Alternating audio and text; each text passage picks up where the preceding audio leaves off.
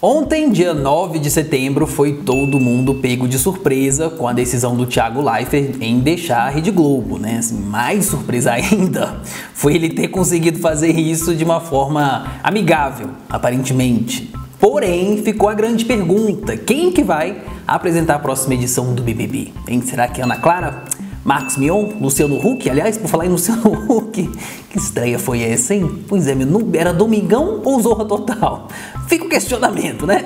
Mas antes de começar o vídeo, deixe o seu like e inscreva-se para receber notificações de tretas novas assim que elas são postadas. Siga também a nossa fanpage lá no Facebook e nosso Instagram, custa nada e é de graça.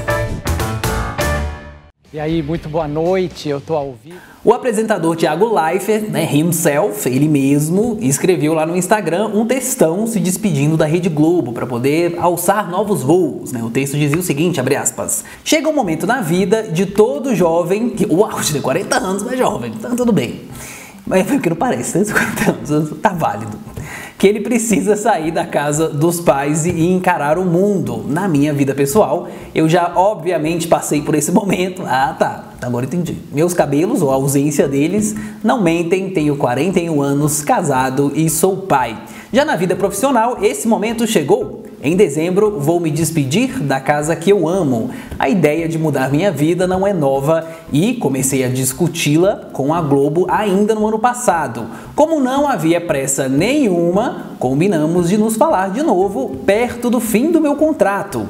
Recentemente, após uma nova conversa e com a ideia totalmente madura, comuniquei à Globo minha decisão. São quase 16 anos como funcionário, foram 9 anos no esporte, começando no Sport TV, cobriu uma Olimpíada e três Copas do Mundo, fecha aspas. A gente separou só um trechinho aí desse texto que ele publicou, né, que é imenso, mas que tá lá no Instagram do Thiago, né? Vamos lá conferir depois. Ele falou dos programas também que ele participou na Globo, falou lá do pai, né, que trabalhava na Globo desde os anos 80 e que desde sempre os planos dele sempre foram de trabalhar também nessa mesma emissora, né? Obviamente, não de todo jornalista, né? Claro. Eu já comentei aqui no canal que é meio nítido também quando ele tá no esporte ou naquele programa lá que ele apresentava, né? Que passava quase de madrugada sobre videogame, não sei o que, né? Acho que era 01, uma coisa assim.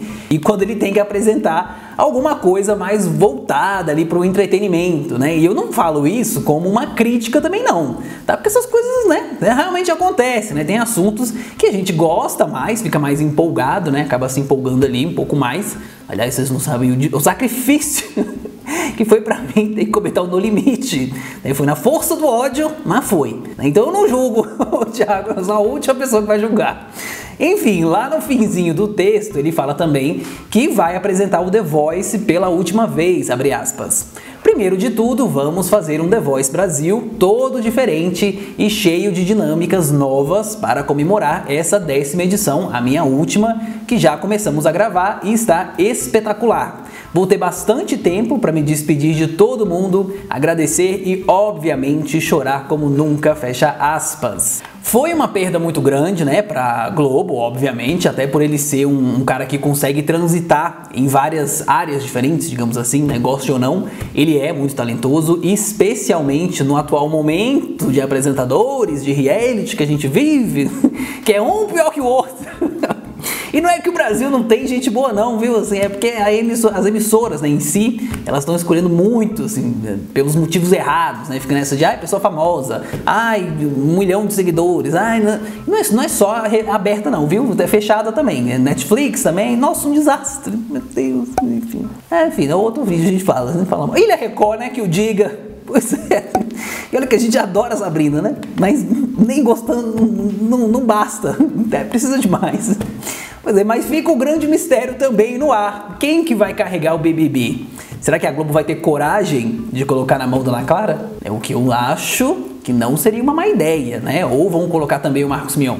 Até onde a gente sabe, o contrato do Marcos Mion vai até dezembro né, desse ano para esse programa aí que ele está fazendo no sábado, né? Então são dois nomes muito fortes, vai saber.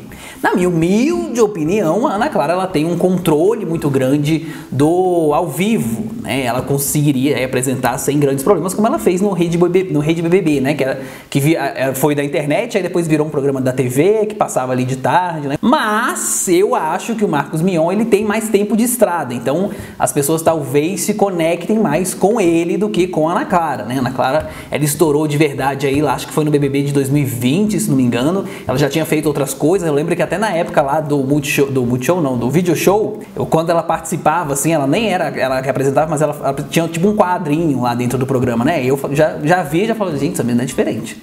Essa menina tem uma coisa aí que é, tem um talento aí nessa menina aí, né? Pois é, mas foi né, no BBB, na rede BBB da internet, depois da TV, que ela deu essa guinada aí na carreira. E assim, a gente também não pode esquecer que o faturamento do BBB, né, em anunciantes é uma coisa gigantesca, né? tem fila de espera para poder anunciar no programa, né? é muito dinheiro envolvido. Essa é uma decisão, então, né, que não pode ser tomada assim, meio que do nada, né? Pois é. Agora, além dos dois, ainda restam, dentro do entretenimento da Globo, André Marques e Luciano Huck.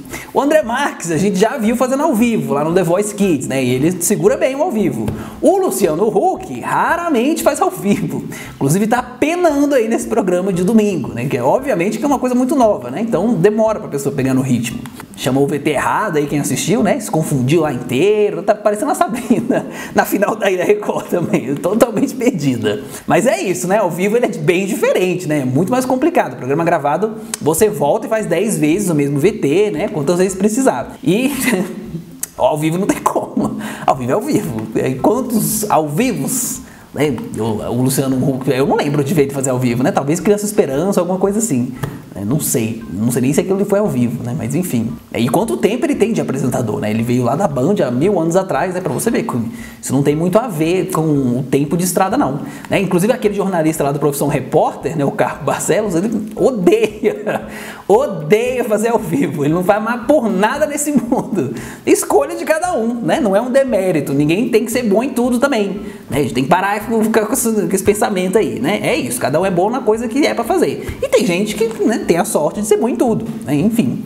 O Boninho, até o momento, não disse nada, até porque tá muito cedo também para falar alguma coisa, né? Mas eu quero saber a sua opinião. Quem que seria o nome ideal pro BBB? Né? Eu vi gente falando até da Angélica, imagina, nem da Globo Angélica não é mais.